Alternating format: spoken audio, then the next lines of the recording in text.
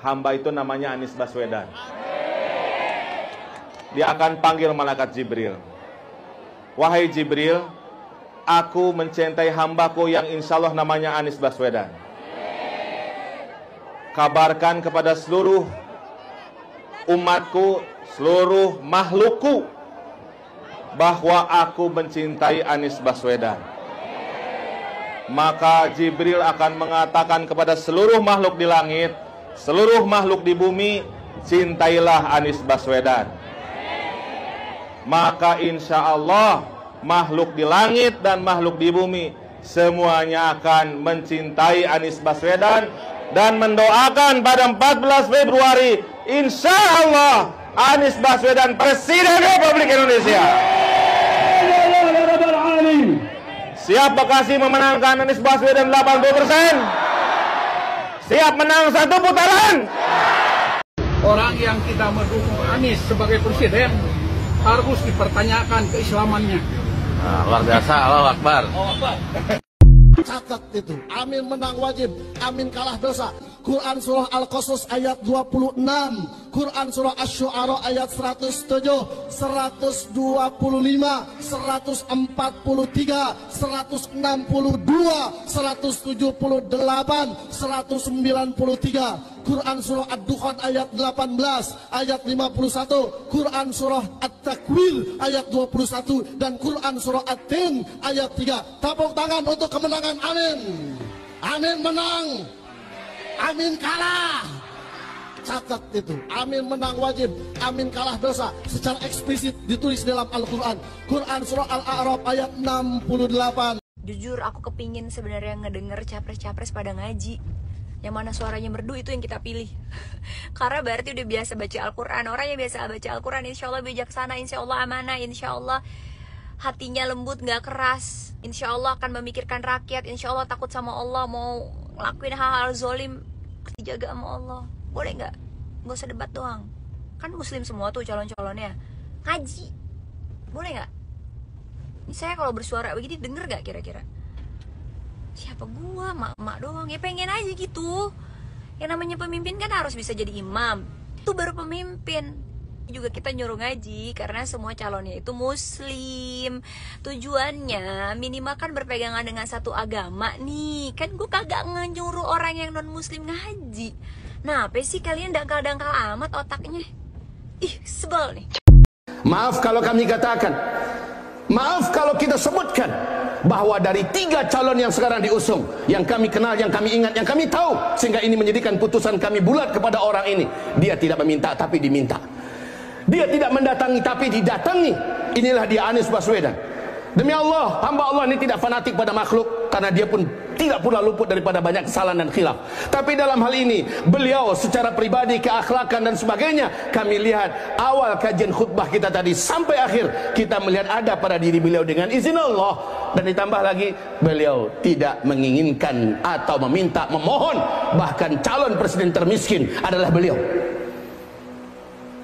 Hadirin yang kami cintai, setelah itu apa yang akan kita katakan? Saat ada orang meminta jabatan, menginginkannya dan bahkan membagi-bagi uang agar dia pilihlah saya, agar dia uh, di, diangkat dan dipilih, bagi-bagi uang. Innalillahi wa inna ilahi raji'un.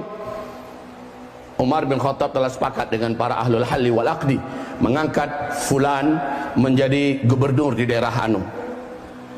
Paginya dia diputuskan Siangnya datang orang itu ya Amirul Mukminin, angkatlah saya menjadi gubernur di daerah Hanu. Kata Umar bin Khattab, pagi kami sepakat memang engkau yang akan kami pilih, engkau yang akan kami kirim. Bulat sudah suara kami, tapi sayang dengan engkau datang kau minta kami batalkan, kami akan angkat orang lain. Sampai begitunya para sahabat hati-hati. Karena Allah tak akan tolong orang meminta jabatan. Allah akan tinggalkan dia, dia akan hina. Dan dia akan lemah di akhirat. Kita tahu. Yang paling banyak di dalam neraka dari umatku kata Nabi adalah orang-orang kaya dan para penguasa. Saya menentang politik identitas karena bagi saya politik identitas dengan membawa-bawa agama itu mempermainkan agama mengajak-ngajak orang untuk ikut demi agama padahal yang ngajak ini sebetulnya mencari dunia yaitu jabatan dunia kepada orang banyak katanya ngajak-ngajak kalau ikut saya masuk suar, masuk surga. Nyoblos saya masuk surga. Orang yang kita mendukung Anies sebagai presiden harus dipertanyakan keislamannya. Nah, luar biasa, Allah Akbar. mempolitisasi agama. Akalnya gimana coba? Lo kalau mau jilat, jilat aja. Gak usah lo bawa-bawa agama. Ada lagi juga yang komen, gak sopan lah sama orang tua ngomong kayak gitu. Ini masalah agama, Bung. Ya, lo jangan pernah permainin agama, apalagi mempolitisasi agama. Ingat, Setelah video aku, Prof Mahfud dari Ibnu Warnadi nggak tahu beda Godibik dan Polibik ditonton 2,6 M. Ada lagi artis bilang presiden harus bisa ngaji. Artis ini bilang kalau capres bisa ngaji, yang mana suaranya merdu itu yang kita pilih. Begitu ya? Sampai-sampai Cici Agnes bikin gini. Pilih paslonnya merdu ngaji, Emang pilih presiden apa mau cari guru ngaji nih? Mungkin artis tuh lupa dulunya itu dia gimana ya? Ada yang komen lagi seperti ini. Aku juga penasaran pengen ngeliat si artisnya ngaji. Ada yang komen lagi, cuma ganti casing mesinnya sama. Jujur banget. Duh. Terus dibilang kayak gini, presiden harus tes ngaji, suara merdu itu yang kita pilih. Mak, ini cari calon pemimpin bukan lomba tilawah. Setelah dia rame, dia balas komenan itu di netizen, cie yang marah yang sadar capresnya nggak bisa ngaji ya. Panik nggak? Panik lah masa nggak? Dia paling si bisa ngaji. Setelah rame bahas-bahas ngaji, komenan Kartika Putri jadi sorotan. Cie yang marah capresnya nggak bisa ngaji. Wah, mari komen, mari kita diskusi. Pak, kenapa sekarang agama dijadikan tameng di politik kita? Ya, itu sebenarnya menurut saya Pertama kalau di kalangan massa itu hanya emosi. Yang kedua kalau di kalangan elit itu hanya menjadikan agama sebagai alat untuk meraih dukungan. Kalau rakyat di kalangan massa, rakyat biasa, emosi itu merasa kalau dipanas-panas ini agama kita e, dilecehkan, e, agama kita tidak diindahkan oleh negara karena pemimpin-pemimpin kita ini tidak Islam lalu dijadikan sayalah yang Islam, gitu ya, elit. Nah elit itu sendiri saya tidak percaya pimpinan Islam. Saya pernah menulis gini di Twitter saya. Saya heran nih rakyat kita mengatasnamakan memperjuangkan Islam. Pokoknya Islam harus diperjuangkan harus pemimpin Islam.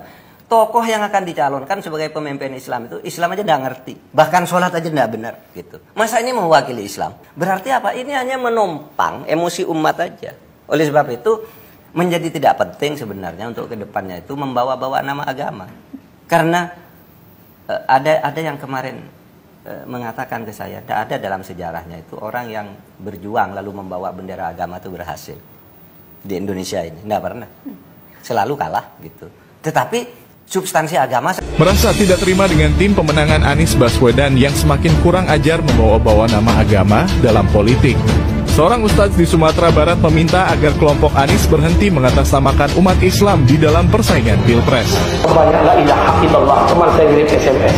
Assalamualaikum Ustaz. Waalaikumsalam. Jangan lupa Ustaz. 2024 kita milih, kita rapatkan barisan untuk milih Anies Baswedan. Pilih Anies masuk surga, pilih Ganjar masuk neraka. Nah, ya lu Anies Ganjar menentukan surga neraka,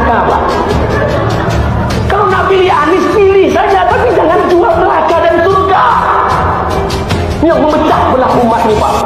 video-video bertebaran, Pak Anies menyatakan maju menjadi calon presiden, kemudian di berbagai media sosial saya lihat para pendukung Pak Anies kian brutal, sering menghina berbagai tokoh nasional, bahkan hingga Pak Presiden Joko Widodo, Pak Prabowo Subianto dan sebagainya, itu yang memaksa saya akhirnya harus speak up.